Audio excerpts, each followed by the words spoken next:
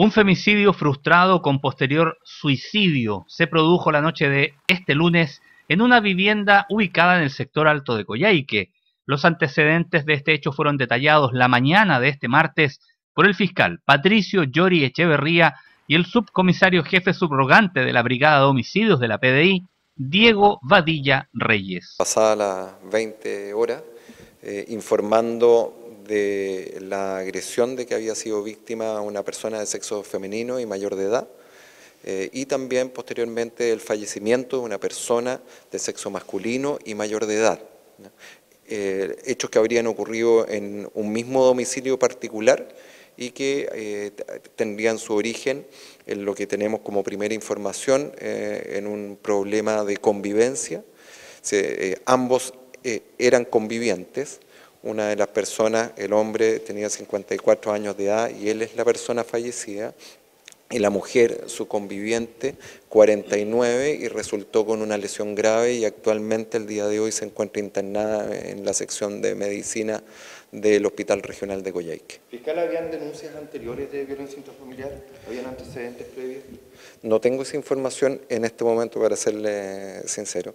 Lo que sí estamos viendo eh, inicialmente es la información respecto de la dinámica de los hechos, porque sin perjuicio de que los primeros antecedentes dan cuenta de un femicidio frustrado, no abandonamos otras hipótesis ambas personas, uno fallecido y la otra herida, hay que ver cómo ocurrió efectivamente la dinámica, sin perjuicio de que la eh, Brigada de Homicidio ha avanzado bastante en las últimas horas respecto de las declaraciones de testigos que estuvieron en, eh, los hechos y también en zonas cercanas a aquellos. Eh, había un hombre de 54 años fallecido y su mujer conviviente desde hace 25 26 años lesionada de gravedad en el hospital de, esta ciudad.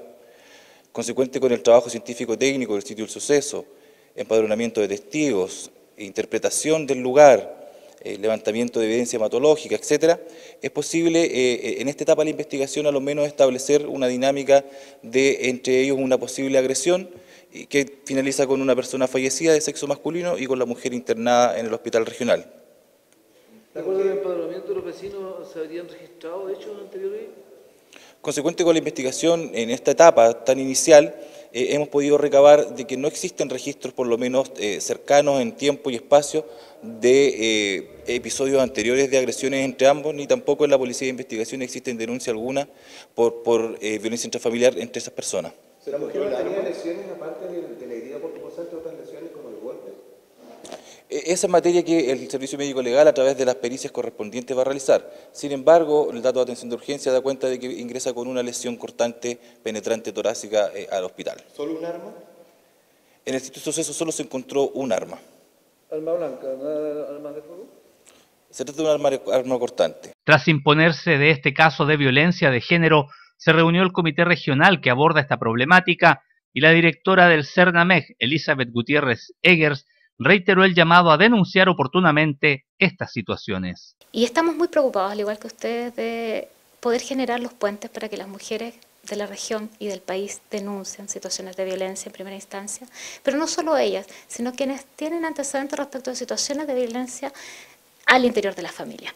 ¿Por qué? Porque como Servicio Nacional de la Mujer nosotros podemos llegar, podemos entregar orientación y hacerles ver la posibilidad de ingresar a las diversas terapias, para las mujeres y para los hombres que violentan.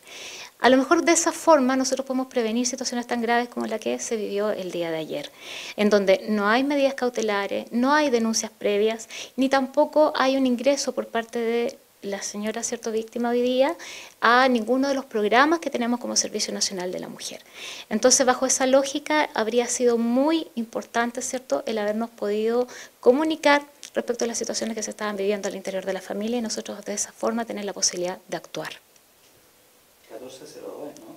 Nuestro, hoy día tenemos un fono abierto que es el 1455, disponible los siete días de las semanas. No se necesita ni siquiera saldo en el teléfono celular para poder hacer las denuncias, pero también referir que estamos acá como servicio en Baquedano 257, nosotros tenemos atención permanente. La víctima fatal de este incidente fue identificada como Jorge Márquez, de 53 años, mientras que la mujer agredida se encuentra hospitalizada fuera de riesgo vital.